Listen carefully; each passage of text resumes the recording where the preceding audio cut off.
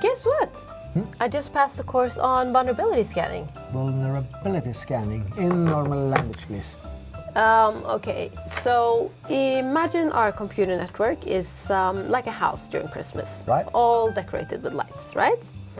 So vulnerability scanning is like checking each and every light bulb to see if anyone are bad, like flickering or about to go out. Okay, so I see it's like making sure that everything is tip-top shape before the holiday season.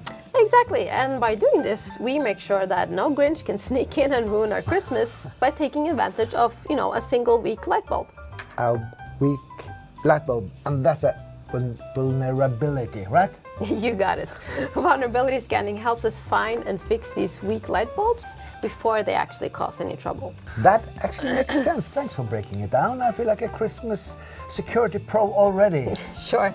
And by the way, do check the lights during Christmas, especially any live ones.